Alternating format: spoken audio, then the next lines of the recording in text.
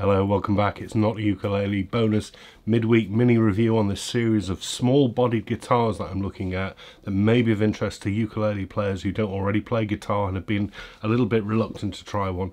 Uh, small bodies, smaller scales, that kind of thing can be really helpful to sort of bridge that gap and I'm not talking about the big stuff. So I've featured a couple already. This is one I've been really looking forward to looking at. This is the Gretsch G9500 Jim Dandy. It's a parlor and it's a very, very traditional parlor for a couple of reasons that we'll come on to. Now, it's interesting. I do ukulele reviews. This one is, um, if I saw a ukulele that came to me like this, when I come into the specs of it, I'd probably be running a mile and not expecting the best. And that is to say, this is all laminate. This is all laminate plywood. This is all laminate basswood, basswood the cheapest stuff that instruments can be made from.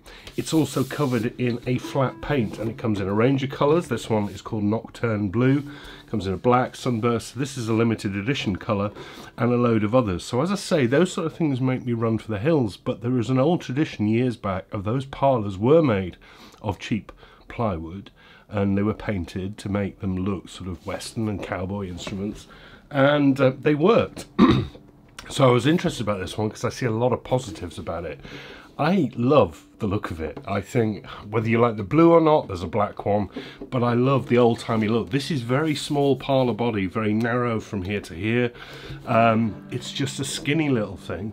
Um, as I say, this is this Nocturne Blue, finished in this flat blue, all over it, all over it. Little nice features that are not modern as well, like a plastic um, strap button there. Cream binding around the top with this white purfling line added to it. They all have this white scratch plate with the G for Gretsch on it. The bridge is really interesting um, because most acoustic guitars you see will have a pin bridge. This is called a top load bridge made of walnut, screwed down in place and the strings go through that bar and they, the ball ends just hook in there. That is a compensated bone saddle on the top. So as I say, all laminate, pretty thick, notch linings inside there, X-braced, but very, very tidy. I can't find any flaws with this at all. Really, really nice. The satin, bizarrely, um, even though it's a satin, terrible for fingerprints. I'm sure gloss would be worse, but there we are. Now the neck, we move on, we get into very typical um, parlour um, territory again here. It's shorter scale than the instruments I looked at last week, the PRS. This is just a straight up 24 inch scale from the nut to the bridge, a smaller than most dreadnoughts. But also, it's joined at the 12th, not the 14th. So the amount of neck here is a lot shorter by two frets. So you get, uh, how many did we get? 18 of those, 12 to the body. So that's quite, that's very traditional, old-timey, not the 14th. No sharp edges, flat edge bound in black, as you can probably see. These big oversized position dots at 5, 7, 10 and 12. You've also got white dots on the side. Bone nut, um, really simple, old-timey looking headstock, Gretsch, Jim Dandy, and then this interesting one as I say, steel reinforced neck. That means there's a truss rod, and there is. You can adjust the truss rod from in there. It comes with a set of D'Addario strings, 12s.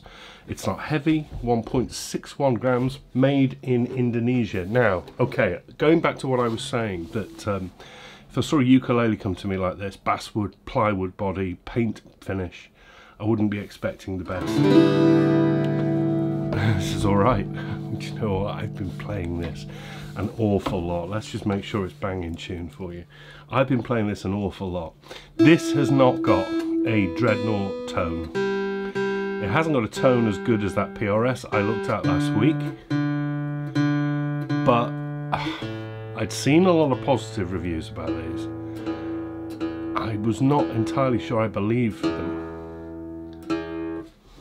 Volume, great. It's got quite a, it's a bit brittle. It's thin, but this is a really small little box body.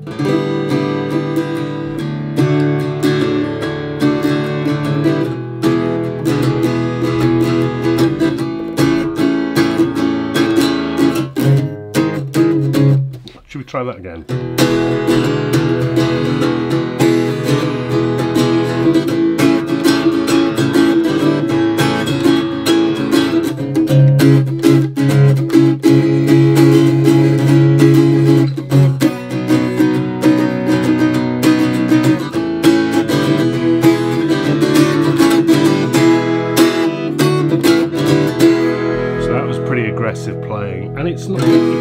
booms, but it, it, that's what it sounds like. It's a blues box.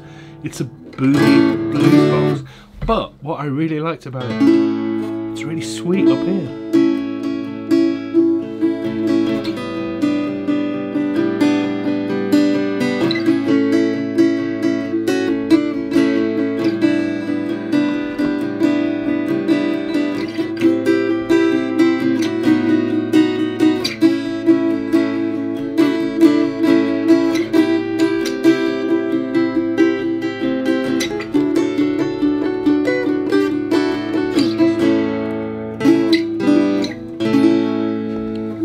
This.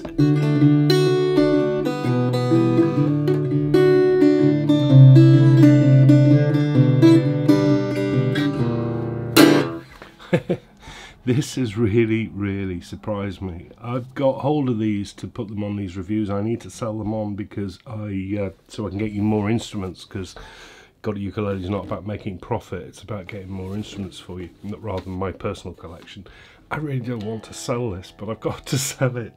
Um, I, this is remarkable. I might buy another one out of my own pocket and get one because it is. It's just that old-time blues box thing. That's what it is. It's it's not trying to be a sweet Martin, a sweet Taylor, a sweet um, I don't know whoever um, high-end acoustic guitar. It's meant to look like you are just got off the box car. Um, you got a hole in your shoe and you're going to go and busk on the street corner and play with it. And that's what it sounds like. But it's really nice. As I say I mean yes it, it's just got that old bluesy time stuff. You could play slide on it wonderfully I suspect. But it's it's quite pretty when you dig into it and listen